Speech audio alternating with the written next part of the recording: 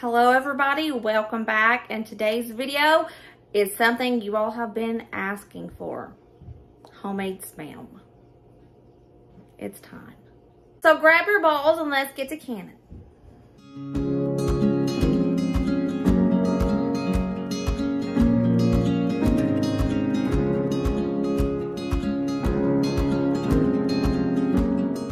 Your, your balls. Before I get started on this video, I'm going to do a quick disclaimer. Kind of, not really. Well, just hear me out. Okay. Every time I do canning videos, there's always someone, a canning Karen is what we call them in the canning community, um, who wants to say, you can't do that. You better not do this or that. We don't do that here. It's my kitchen, my rules, and canning spam I really don't know if this is rebel canning or not. I, you can can pork, so I don't think it is rebel canning. But this is a recipe that is decades and decades and decades and decades old, okay? It has never failed me. So, before Canning Karen start, blah, blah, blah, you know. Um, my Aunt Vicky's my moderator now, and she deletes them things quick, so don't even bother. Um, but if you do, my Aunt Vicky, I'm telling you, she's quick. She don't want no negativity in here. So she will delete and block. So, so just don't. Let's just all have a good time. My kitchen, my rules. Your kitchen, your rules. If you don't want to do this, don't do it. But I have got a lot of requests for this. And this is one of Dusty's absolute favorite things that I can. And it's really good. And honestly, I don't think this is considered rebel canning because you can can all the ingredients. So I don't think this is rebel canning. Pretty sure it doesn't. But even if it is my kitchen, my rules, it's fine. This is decades and decades old. It's fine. Now, now that I said that, all right, we are going to talk about the canning equipment that we need for homemade Spam. You need a pressure canner, not a pressure cooker, not an Instant Pot, a pressure canner. Now, pressure cookers are just pressure cookers. They are not rated for jars for canning. But a pressure canner can also be a pressure cooker. Do you understand? A pressure cooker can't be a canner, but a pressure canner can be a cooker.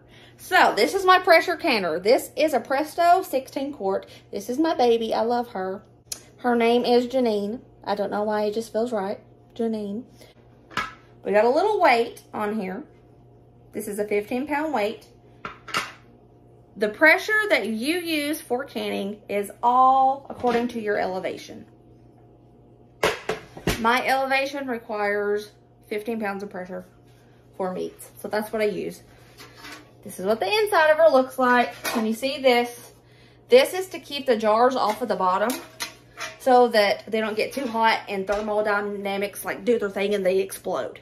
Okay, so you need one of those in there. And if you have washed yours by some chance, put a towel in it just so that the jars do not touch the bottom or you'll have a mess in there. And you'll all your hard work will just be for nothing. So that's what you need.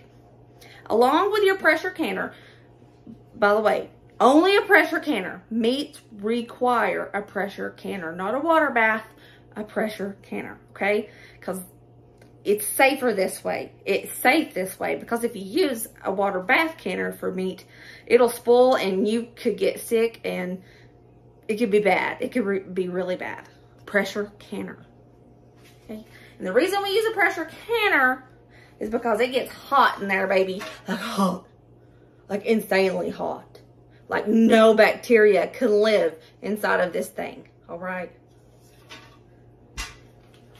For Spam, I highly recommend that you use wide mouth jars. 16 ounce pints. Wide mouth. And the reason I say that, if you use the regular mouth, you're not going to be able to get your spam out of it. So this slides right out of the jar. So you're going to be needing six to eight pint jars that are wide mouth for this recipe, along with wide mouth, can you see it? Wide mouth lids and rings. Another piece of canning equipment you need is a ball grabber. Need this. Now that's pretty much all the canning equipment that you're gonna need. Now let's talk about the items that you're kind of gonna need for the Spam, to make the Spam. This is what you're gonna need. Five pounds of pork shoulder, one pound of ham. I just bought this little ham steak at the Wally World. Canning salt, Morton's Tender Quick Meat Cure, cornstarch, sugar, and water. I just showed you the items you're going to need to make the Spam. Now let me show you some things that you can grind up the meat with. We usually use this. It is a meat grinder. This was like $16 on Amazon. It's, it's, it's taken apart. I'll have Dusty put it together in a minute after I wash it up real good because it's kind of dusty. And I'll show you what it looks like. Quick, this is what the grinder looks like. You put your meat in here and you press it down as you turn. And it comes out of these. There's like a couple different sizes of the holes. These are the bigger ones. This is just what Dusty hooked it up as. But this thing comes in so much handy. I love this. If you don't have a meat grinder like that, because I know not everybody has a meat grinder, you can use a food processor and spin it up and it'll work really good. You're also going to need a really big bowl. As big as you can find. Can't forget vinegar to wipe the rims.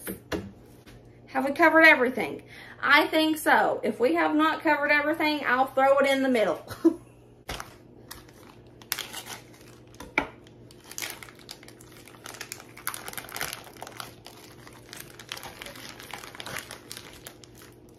I'm just going to start dicing my ham steak into like little one inch cubes, I guess.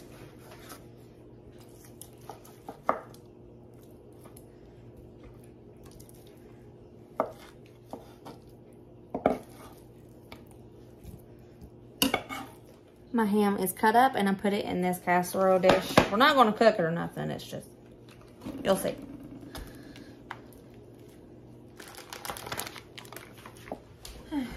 Now let's do the same thing to the pork shoulder. Tell you what, I am going to trim off a lot of this because I don't want that. Okay. I'm just going to cut the bone out and put it in the bag too. If I can find it.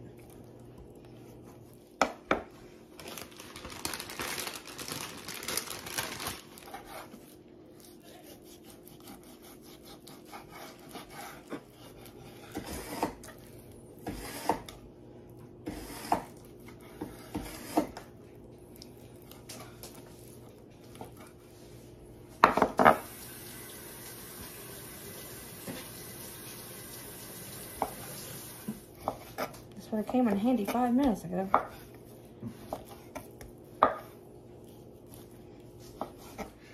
Now we're going to cover this with saran wrap or aluminum foil, whatever, and we're going to set it in the deep freezer for about an hour to hour and a half.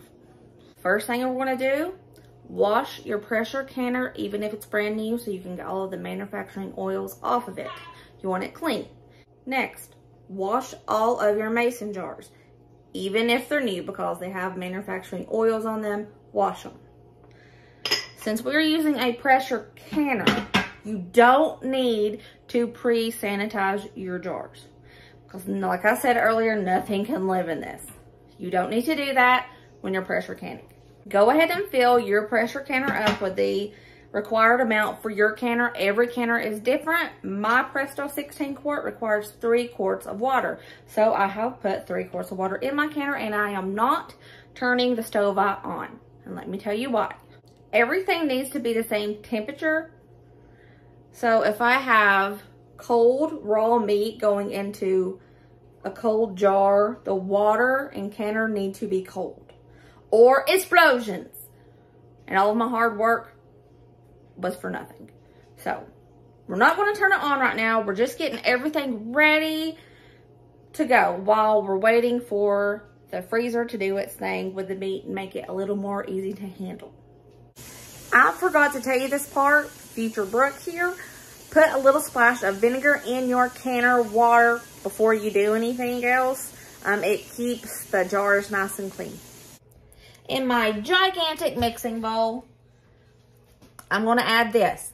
Three tablespoons of the Morton Meat Cure, three tablespoons of sugar, three tablespoons of cornstarch, and one tablespoon of canning salt. I put that all in this little bowl, and I'm dumping it. One cup of water. We're going to mix this all together until the clumpies are gone.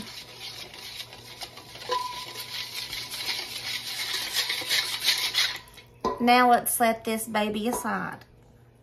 I'm going to be using the my food processor to do this because I know everybody doesn't have a meat grinder. So I'm doing it this way. I got my chilled beef, not beef. I have my chilled meat here. It's sitting there for an hour and a half. Just getting it really, really cold makes it easier to grind up.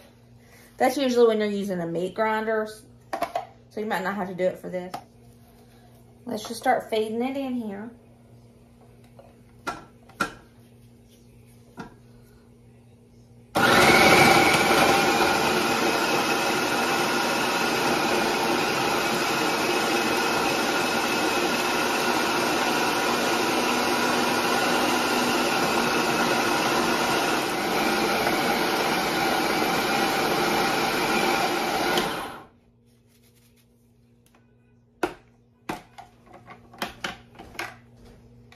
Perfection. That's what we want. See that? Ground up perfectly. So I'm gonna have to do this in batches. And I'm gonna take this out and put it in the little mixture we made a second ago. Oops, don't do that.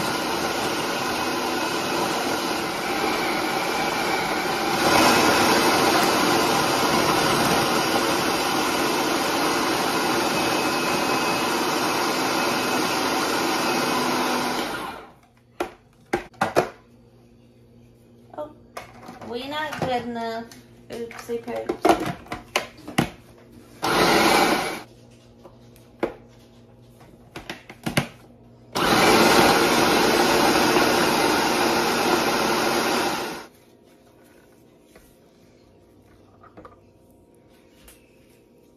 see this? It's all grinded up.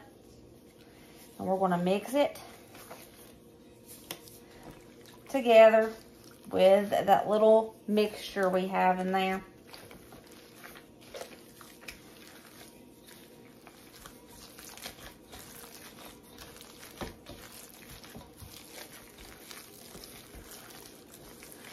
Okay, when she's mixed good, she's ready to get put in the jars. Now, you can do this however you want to. You gotta pack it in there tight. I have my jar, as you see. And what I do,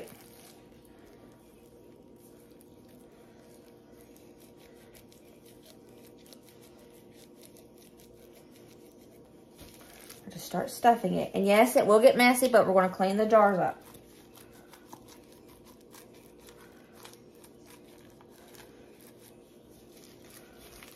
Okay, you have to push it down so it'll be a loaf, all right? Okay, I'm gonna leave like a one inch headspace on this after it's packed in. And I'm just going to push it down, try to get rid of any air bubbles I see in there.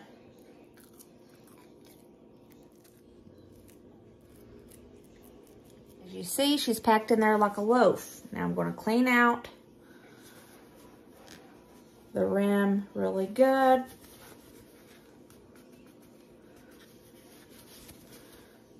If we don't clean off the rim, it won't seal. Now, like I said, some people like to use piping bags for this. And go ahead. I just find it's too messy. I'm going to repeat the process. I'm not putting the lids on yet. I'll show you what to do after I pack all of the jars. Okay, I have filled each jar and made a loaf in there. You see this chopstick I have? We're going to put a chopstick in the middle of each one to make a hole.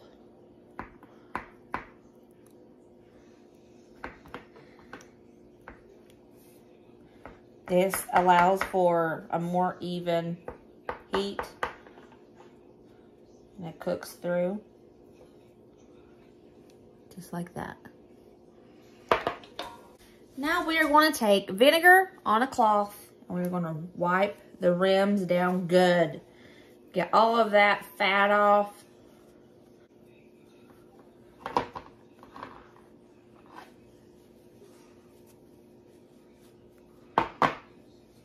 Now we're going to put our lids on.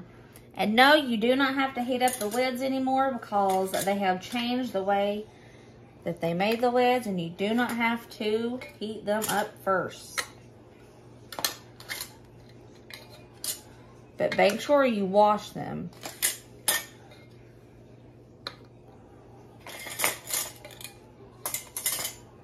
Okay. Remember, as I always say, fingertip tight. Fingertip tight is you go around, it stops on its own, but then you go, whoop, one more. Not, do not over tighten. Okay, made six jars. I have a little bit left over in the bowl that I'm going to cook in the oven because Dusty wants some tonight.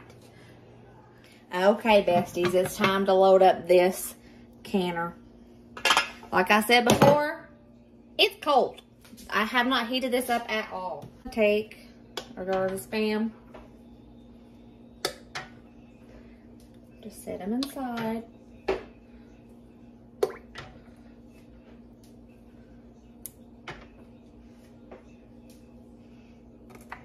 With Spam, there might be a little bit of siphoning. The fat likes to kind of escape sometimes. If that happens, don't panic. If it happens to mine today, I'll show you what you do after. So let's put the lid on and secure it in place. And we're going to turn the heat on. Start heating this baby up. Do not put the weight on yet. We put the weight on when she's... Do not put the weight on yet. We put the weight on when there is a steady stream of steam coming out of this little vent for at least 10 minutes. Do you see that? You see the steam? I'm trying to get it on camera. There it is. It's a steady stream of steam now. Usually this little nipple pops up when the steady stream has started. Um, that's what I always wait for. So now I'm going to start the timer for 10 minutes. Don't skip this step. This is extremely important because we need to get all the air out of this canner so it can fill up with steam. If you don't do this, it's not going to cook properly. So don't skip this step. 10 minute timer has been off. Now we can put on the weight. So what I'm going to do now is turn down the heat just a little bit. I don't want it to get out of control. I'm going to wait for this pressure to go to 15 because my area needs 15 pounds of pressure. You have to check your manual to see how many pounds of pressure you need for meat. But me personally, it's 15 pounds. So when I get to 15 pounds, I will show you the next step. By the way, I'm just going to let you guys know you don't need to be afraid of pressure canners. The old models were the ones that exploded. These don't explode. If they do, it's extremely rare. They have so many safety mechanisms. This will blow out and let release the pressure before anything explodes. So these are safe to use. Don't panic. We're at pressure. So we're going to turn this down. Do you see this? This is okay. This is what we call jiggulating. It's just keeping the pressure where it needs to be.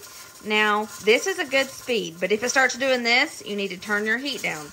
This is how you control your pressure. If you think this is getting out of control, or if you are at a 10 PSI and you want to keep it at 10, that is how you control your pressure. So now we're going to set the timer for 75 minutes because that's how long this takes to pressure can. 75 minutes. See you when it's done. Timer went off. That means turn the timer off and completely turn the heat off. Now, we're just going to wait. Wait for the pressure to go down naturally. And when it gets to zero, you can take off the weight and open her up. But right now we have to wait. Pressure is on zero. We can take this off and I'm to open it up. Here it is, fresh out of the canner. And you can see here that there is a little siphoning. So what we're going to do, we're going to let this sit for 24 hours, not touch it, and then wash them. Here they are next day. As you can see, it has solidified because, you know, the fat. And that's what it looks like. Doesn't look great. It's not pretty because, you know, it's meat in a clear jar. But I checked the seal. The seals, the seals are good. And I just washed them off with some soapy water and dried them. I want to label them and then put them in storage.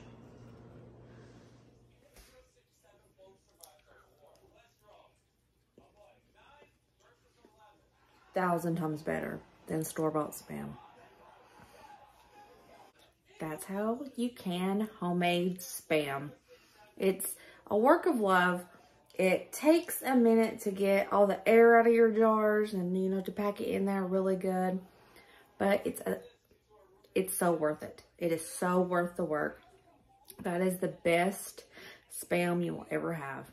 It tastes a thousand times better. You know where the meat come from. You know what is in it. You know how long it's been sitting there. Homemade spam. Top tier. If you give this a go, I hope you love it. Little tips for me, because it's trial and error over time. And I've done this for a long time. And one thing I can say, please try to get all the air pockets out of your loaves when you put it in there. Um, don't over tighten your jars. They can pop off. And please try to get the meat as fine as you can. If it is too thick, too coarse like, um, it the meat won't stick together well in the loaf. Um, it'll kind of crumble apart, which would still be good. It'll still be tasty. You'll just have spam crumble. If you don't have a pressure canner and you want to make this, you can still make this. Just get you a meatloaf pan, pack it in there, cook it on about 375. The timing is all according to how big your loaf is. So I would advise you to use a meat thermometer to stick it in to make sure it gets to the right temperature for pork. And you can store it in the refrigerator for a couple weeks because it is cured. Or you can even freeze it. You can slice it up, freeze it, or you can just freeze the whole loaf if you wanted to. So this isn't just for pressure canning, but pressure canning is awesome because it can last years as long as it stays sealed. Now don't freak out over this. This is called a fat cap. It's just when all of the fat solidifies as with anything. So I want to go take my Spam, label it, put it in my pantry, and I'll see you guys next video. Remember, as always, be positive, kind, be happy, and I love you. I will see you later.